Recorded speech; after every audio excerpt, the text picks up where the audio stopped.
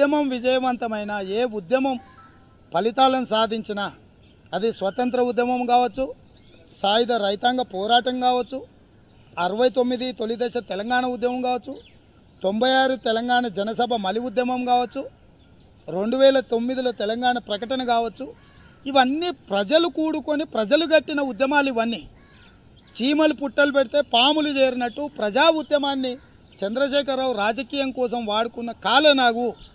ఇవాళ మళ్ళీ ప్రజా ఉద్యమాలను నిర్మిస్తాము. మీరు చూస్తున్నారు కదా మన ఖమ్మంలో రాహుల్ గాంధీ గారు సభ చూసిండ్రు కదా. ఆర్టీసీ బస్సులు ఇవ్వలే. ప్రైవేటు బస్సుల పేపర్లు గుంజుకున్నారు. డ్రైవర్లను తీసుకొని పోలీస్ స్టేషన్లో కూర్చోబెట్టారు మా నాయకులను నిర్బంధించిండ్రు.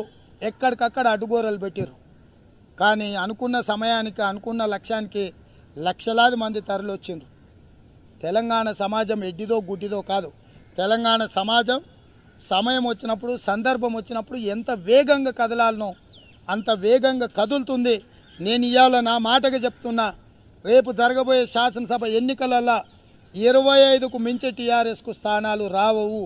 Highest is twenty five TRS party గెలవబోయేది అంతే. ఆ సంగతి తెలుసు కాబట్టి కేసీఆర్ కాంగ్రెస్ మీద ఇష్టారీతిన దాడులు చేస్తున్నాడు సార్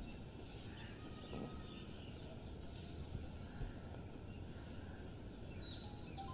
కాంగ్రెస్ పార్టీకి వస్తా అంటే మీరు అడ్డుకుంటున్నారని చెప్పి ఇంతవరకు నా దగ్గర ప్రస్తావన రాలే అది మా రాష్ట్ర సమస్య కూడా కాదు. తెలంగాణ రాష్ట్రానికి సంబంధించిన విషయాలు ఏదైనా మాట్లాడితే తప్పకుండా వాటి మీద నేను స్పందిస్తాను పరువు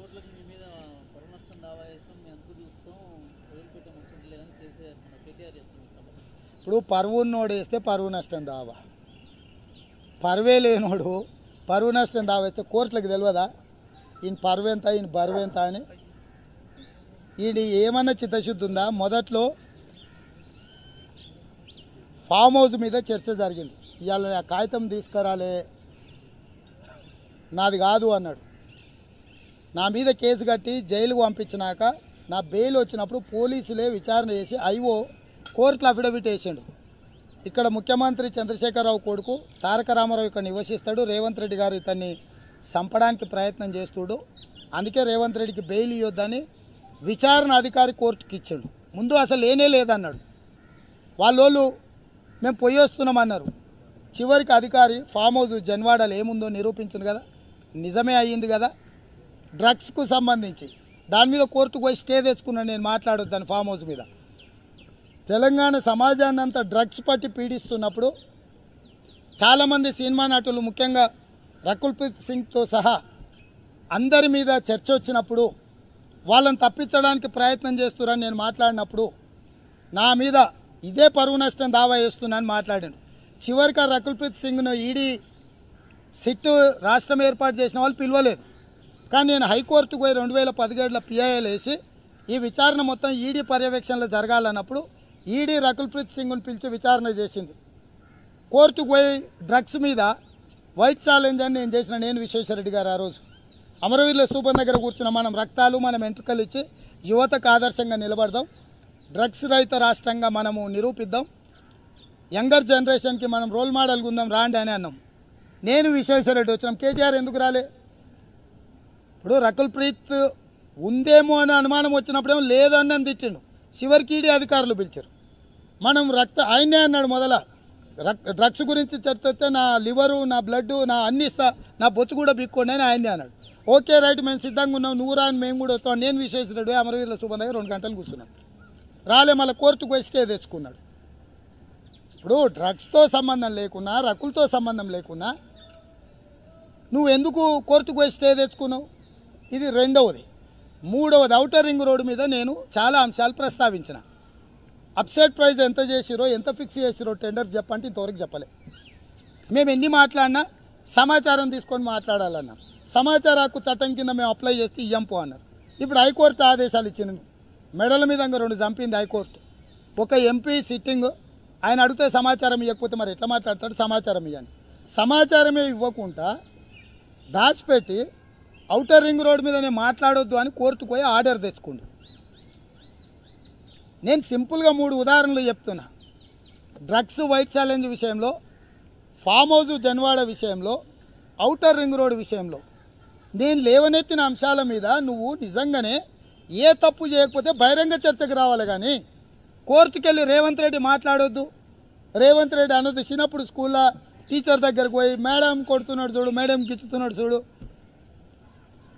ఇట్లా నువ్వు కోర్టుకు పోయి తెచ్చుకుంటున్నావు కదా దీన్ని బట్టి కేటీఆర్ చిత్తశుద్ధి ఆయన వేసిన పరువు నష్టం. ఇక అది వెయ్యి కోట్ల పోని వెయ్యి కోట్లు ఇస్తే ఇష్టం వచ్చినాడు తిట్టొచ్చా? పోనీ అదనే చెప్పు మళ్ళా. మా కార్యకర్తలు అందరు జమేసి ఏనాన్ని ఇస్తారు? కాంగ్రెస్ పార్టీ కార్యకర్తలు అనుకుంటే తలా రూపాయి జమ అయితే వెయ్యి కోట్లు అవుతాయి. వేయిస్తే తిట్టొచ్చా? నేను బాధ్యతాయుతమైన ప్రతిపక్ష నాయకుడుగా ప్రజల తరఫున ప్రజల ఆదాయానికి గండి కొట్టి మీరు కొల్లగొడుతురు కాబట్టి వాటిని నిలువరించే ప్రయత్నం చేస్తున్నా.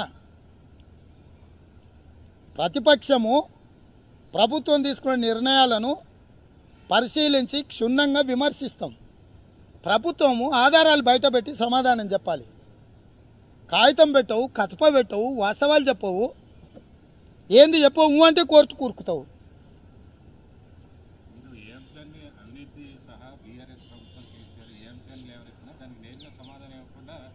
ప్రతిసారి కూడా రేవంత్ రెడ్డి చంద్రబాబు శిష్యుడు అనే అంశాన్ని తెరమైకి తీసుకొస్తారు నేను అదే చెప్తున్నా ఇప్పుడు కూడా నేను అనేది అదే. నేను చంద్రబాబు నాయుడు శిష్యుడిని కాదు. చంద్రబాబు నాయుడు సహచరుడిని. నేను ఎమ్మెల్సీకి ఇండిపెండెంట్ గెలిచి ఆ పార్టీలకు పోయినా.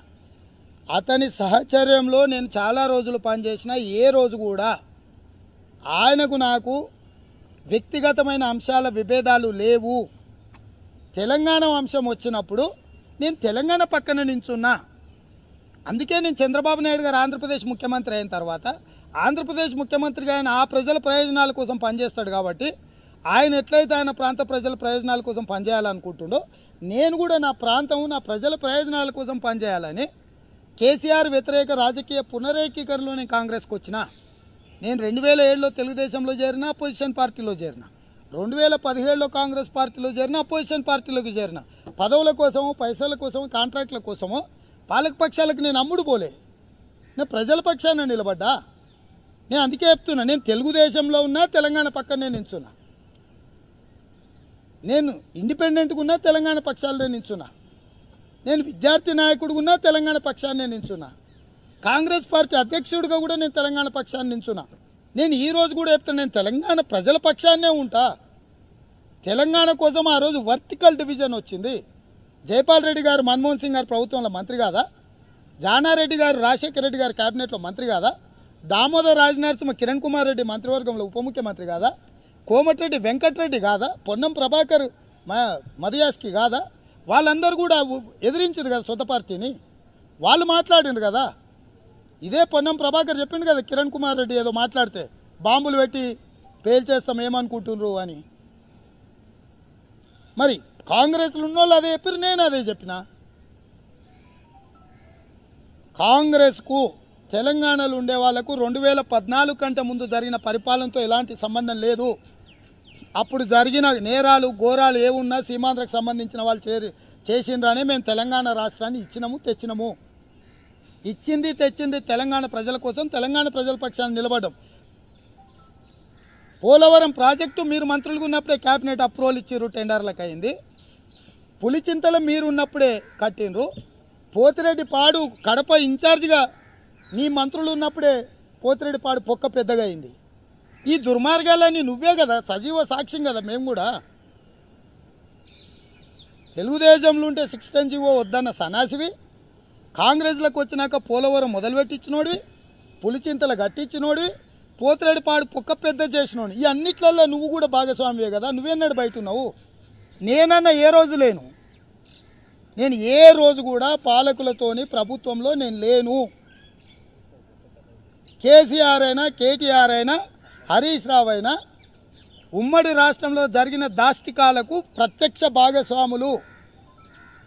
మీకు సిగ్గు ఉంటే మళ్ళోసారి ఉమ్మడి రాష్ట్రంలో జరిగిన వాటిని ఈ తెలంగాణ కాంగ్రెస్ పార్టీకి ఆపాదించొద్దు. తెలంగాణ వచ్చినప్పటి నుంచి నువ్వే ఉన్నావు. దోపిడీ నీదే దొంగతనం నీదే దొంగవు నువ్వే గజ దొంగవు నువ్వే.